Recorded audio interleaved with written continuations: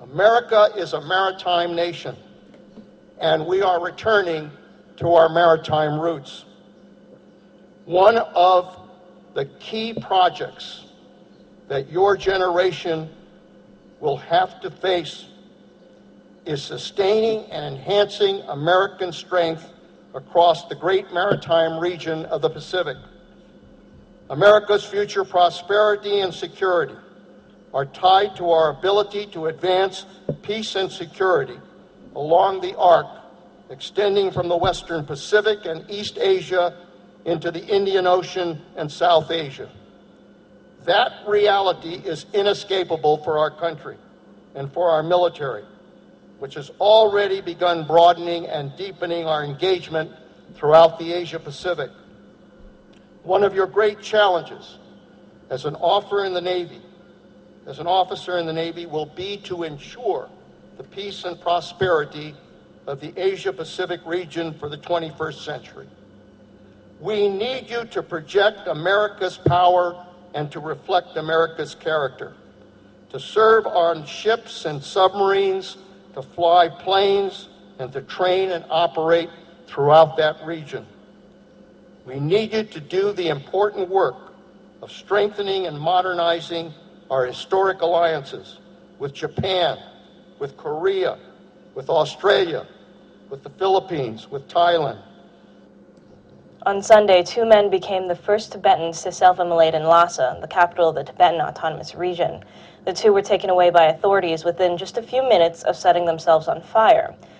The self immolation occurred just outside the popular tourist spot Jokhang Temple in Lhasa. According to Chinese state run media, one of the men, identified as Tobje Zetin, died. The other, a man identified as Darje, was hospitalized. According to Radio Free Asia, a source has said that the two were monks at the temple. The identity of the two men cannot be confirmed. The temple has been under heavy security since. Hello everyone, welcome back to GGN. My website is ggnonline.com and on YouTube is ddarko2012 and my backup channel is ddarko2013. So I have a follow-up story that I found after um, I saw this news story, which is a two Tibetan monks self-immolate and Lhasa, which was Tibetan mother of three uh, self-immolates in China's Sichuan province, said on Wednesday afternoon, this is from 5.30, so on Wednesday afternoon, 33-year-old mother of three self-immolated near uh, the monastery.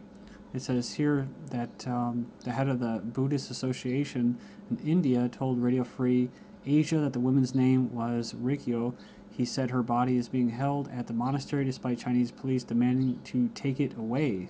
So maybe they're going to put it behind bars and torture the dead body. So, um, and it says here, earlier this week, two men in Lhasa became the first reported self-immolated protesters in Tibetan Autonomous Region. So that's kind of a follow-up. So, and the death of this woman makes it the 38th Tibetan to self-immolate since February of 2009. All the headlines and links will be posted in YouTube's video description. Uh, the first video, if you haven't seen it yet, check it out. It's the economy, and then I uh, kind of move into some surveillance news. And in this one, we'll cover um, obviously Asia and kind of basically world uh, political war type stuff. Okay, um, we have this 45 signs that China is colonizing America. And um, I've been covering this, but I like how this article kind of wrapped it all together because when you saw that video of Panetta saying, you know, uh, we're a we're a maritime nation. Well, we're right. He's right. You know, we go by what maritime law, law of the water, and all that stuff. And um, you know, we need to project our power in Asia now. So that's what the he's talking to the to the future generations of uh, military members that that's your new theater is the Pacific, not the Middle East. So likewise, you have the Chinese uh, also colonizing America slowly. So in case you haven't noticed, many of our formerly great manufacturing cities, such as Detroit, are rotting away while shining new factories and skyscrapers are going up all around China. So and you go down and it says that uh, it was recently announced that China's uh, Wanda Group has bought a U.S. movie theater. Remember I covered that. Uh, also, the Federal Reserve announced that it has given uh, approval for banks owned by the Chinese government to buy stakes in U.S. owned banks. That's right. So it also said here a few days ago that Reuters reported that China is now able to completely bypass Wall Street and purchase U.S. debt directly from the U.S. Treasury Department. And after a bunch of money went uh, from U.S. taxpayers to General Motors for being inefficient, in that it said they are currently involved in 11 joint ventures with companies owned by the Chinese government. The price for entering into many of these joint, uh, ventures was a transfer of state of the art technology from GM to the Communist Chinese. And remember, just recently we covered what um, was that uh, the armed services found counterfeit Chinese parts in the Department of Defense supply chain. And remember um, the computer chips that I was talking about that have a back door built in them. So, and that's talking about military uh, weapons and stuff like that. So, and uh, yeah, actually there was a in Michigan, a Sino Michigan Properties Chinese company purchased 200 acres there near the, uh, the town of Milan, Michigan. The goal is to build a China city with artificial lakes, Chinese culture center, and hundreds of housing units for Chinese citizens. And lastly, uh, besides snapping up luxury apartments, they're also buying up restaurants in Ohio, but also in Ohio, the Toledo Edison Power Plant as well. Uh, and lastly, I'll finish up with this. You can go there and check out uh, basically the rest of the evidence that the United States is being uh, infiltrated and taken over, basically. I mean, it, it's already been taken over, and I'm not going to go through it all right now, but just on the surface, that's you know that's what we are uh, that's what we're experiencing right now. So, you know, for those people that didn't get the memo, there you go. Uh, also, lastly, we have this major road and bridge projects all over the United States are being built by Chinese companies. Meanwhile, there are millions upon millions of blue collar American workers that cannot find jobs. So, and uh, moving on to this, we have China condemns U.S. gun ownership as human rights violation. It says here a report issued by the State Council People's Republic of China included U.S. gun ownership among the list of human rights violations, as the United States taxpayers also fund abortions in that country, forced abortions, mind you. They drag women out of their homes and abort them and sterilize them and that. It says here, Law Enforcement Examiner reported yesterday the human rights record in the United States in 2011 was published last Friday. Yeah, so, you know, talk about human rights and stuff, let's not forget what we were just talking about, which is the brutal occupation and suppression of Tibetan sovereignty. So I'm not even going to go through that and waste our time. It says here, U.S. It, you know, it's kind of like uh, in Mexico where they're saying, "Oh, all the guns are coming in from uh, the United States, and you guys have too many guns in that country with citizens. You need to ban guns to end the war on drugs." But we know that if they ended the war on drugs, there wouldn't be um, drug cartels and stuff like that that are taking over the uh, the government of Mexico, and that you wouldn't have all the violence along the border. You know, uh, basically uh, bodies that have been beheaded, thrown out on the highways on a normal on a normal basis. But what you will have is, um, you know, uh, sting operations like Fast and Furious, where the U.S. government was putting and arming the drug cartels. So, and also shipping in drugs and getting caught. So. U.S. completes massive military exercise in Jordan. Uh, remember, we covered this before Operation Eager Lion. So it's an eager lion. Uh, it was meant to reassure puppet dictators of U.S. support and to threaten Iran. They completed a massive military exercise that included 18 other nations and served as a provocative show of force in a very unstable region, which is what they're doing uh, with Panetta and the Navy and all that and China and Taiwan right now, and then in South Asia and Australia. And God, I even remember, uh, how could I forget, you know, uh, paratroopers, special forces in, in Korea. So, I mean, they're all over the place, right? So, Michael Rubin, advisor to former Secretary uh, Rumsfeld from 2002 to 04, is now an analyst at the American Enterprise Institute, told the Christian Science Monitor that the exercise was meant to reassure America's puppet dictators that they have their back. Quote, In Washington, we convince ourselves we withdrew from Iraq per political agreements but a lot of propaganda in the region, especially the Iranian-backed propaganda, suggests that we fled in defeat. One of the perceptions uh, we're trying to reverse is the perception among many Gulf monarchs and the King of Jordan that we dumped Hosni Mubarak in Egypt way too quickly.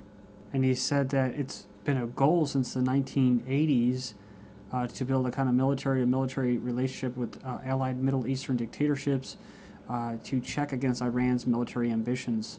And this is what I thought it was for uh, training operation for future uh, intervention occupation of Syria. But uh, this individual from the Washington Institute for Near East Studies calls the timing of the exercise a happy coincidence. So, going to keep moving here. We have military intervention in Syria cannot be ruled out, says France's Hollande. So um, just you know, just like Sarkozy, you know, it's just one in, uh, one goes out the door, the other comes in, and um, it's just business as usual, right? Nothing really changes. French unemployment rate hits 12-year high ahead of presidential runoff. So French unemployment rate, uh, rate hits 12-year high. So you know, this is pretty crazy. There's what uh, 2.8 million people that are unemployed in France, and he's calling for you know let's you know let's go ahead and let's start bombing fucking uh, Syria, right? That's his priority. Says Lebanese join the Free Syrian Army's struggle. So, and remember all the propaganda that we heard, uh, you know, during Rumsfeld and um uh, Rumsfeld and uh, Bush, and you know Paul Wolfowitz, Wolfowitz, and all them about jihad. You know, Osama bin Laden, Afghanistan, jihad. Well, today today there is a need for jihad in Syria, a jihad for righteousness. So that's why it must be that uh, the West is actually putting in puppet governments like in Egypt, like the Muslim Brotherhood and uh, Al Qaeda run uh, uh, groups in Libya that they took over, and then of course in Syria they're going to try to get the same thing as well. But some, for some reason, we're supposed to be fighting against radical extremists, Al Qaeda and Jihad. So we're funding the same enemy that we're supposedly fighting. And I just wonder how the people over in Afghanistan that you know every couple of days you'll hear about a U.S. soldier, or U.S. NATO soldier getting killed. What the hell are they dying for if it's if they're if they're if we're supplying funding and fighting with our enemy, or uh, fighting with her along with our enemy to uh, fight the enemy, which is supposedly them. But don't worry, you know people don't want to hear that. You know, there's Vietnam veterans that still you know, hey, I'm proud of my Vietnam service, damn proud, right? It's like, well, I'd be I'd be pissed off if I was a Vietnam vet. You know, if I was a Middle Eastern vet, like um, was it Adam uh, Kokesh, whatever. I'd you know I'd be pretty damn pissed off, dude, to realize that it was really for nothing. I mean, it just just say it. It was for nothing, dude. You worked for the military industrial complex. You were, you know, you were tricked. You were fooled. You were brainwashed. You know, like myself, you got to get over that. You know, quit supporting that crap. Once you do that, you'll feel better. The weight will be off your shoulders, and then you can start speaking your mind. When you do, you're going to find out a lot of people are going to respect you for that. NATO behind Houla Massacre, the Office of United Nations High Commissioner uh, says that most of the civilian victims of last week's massacre in uh, Syrian town were executed. He goes on to be quoted as saying, actually, this was a premeditated, pre orchestrated component of the NATO foreign policy. Actually, or what you can call it, is an alliance of the U.S. Israeli, ooh, Saudi Arabia. Remember, I covered that before uh, Sunni backed uh, with regard to this premeditated action and this murder killing hundreds of people there. All right, so I'm going to speed it up here, guys. Western nations expel Syrian envoys, U.S. and ally response. New details emerge that civilians were massacred uh, by the United Nations and that, uh, NATO, and United Nations new press for sanctions expected. So remember, Al Qaeda was pictured alongside United Nations. So as long as UN is there, uh, the violence will continue and escalate. But the UN is going to be calling for the end of violence. You see that? You see this? This is the mind games that they play on us, guys. They think that we're that we're flipping stupid that we don't see it. But unfortunately, the majority of people, like I'm saying, like I was saying about the vets, they do. They're zombies. You know, talk about zombies eating people's faces. There's zombies all around you. West Houla Syrian narrative crumbles, expels Syrian diplomats anyway, so UN admits almost all of the people killed were killed at close range by militants, not Syrian soldiers firing uh, artillery. So think of that, remember that word militants. Syria gives Dutch charge d'affaires 72 hours to leave. They expelled a uh, Dutch uh, Fairs diplomat. War between Damascus and the other country. Armed groups attack oil pipeline in Syrian cities, so that's the jihadists attacking the pipelines in Syria.